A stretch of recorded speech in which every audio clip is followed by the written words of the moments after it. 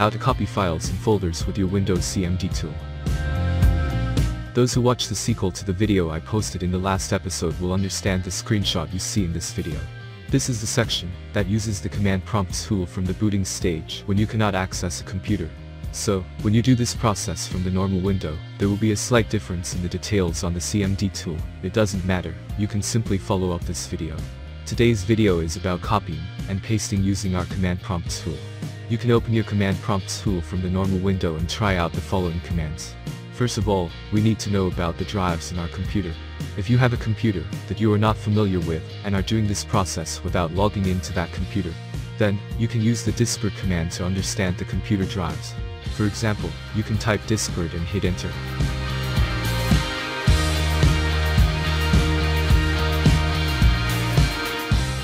Now, details of all local drives can be found here.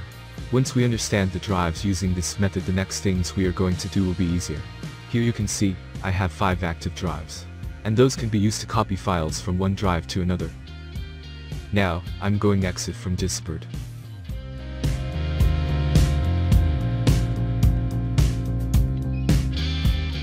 and typing a drive letter like this. And giving enter key. Here you can see the drive is now selected. And now type dir commit. Once you press the enter key, you can see all the data on the selected drive in text form. Now find a file name or folder name to copy.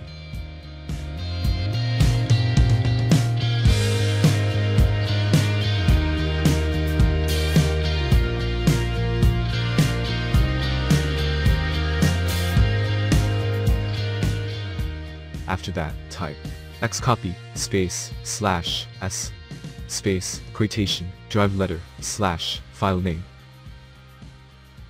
Quotation space again enter quotation. Destination drive letter.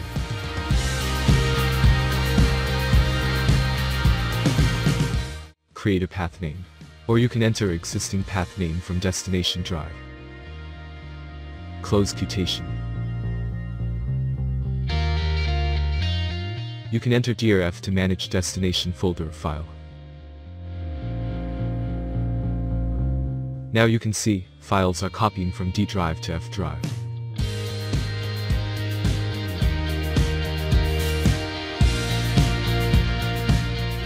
Here I have shown the file copying method. There are two more things we need to understand. One is to open a folder at the command prompt, and another one is to transfer entire folder. So here, I'm typing in another drive letter. And dir. To open a folder, dir, space quotation, drive letter, and folder name. Then close quotation, hit enter key.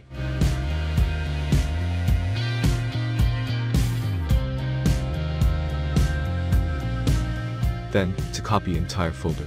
Use the following command without any quotation.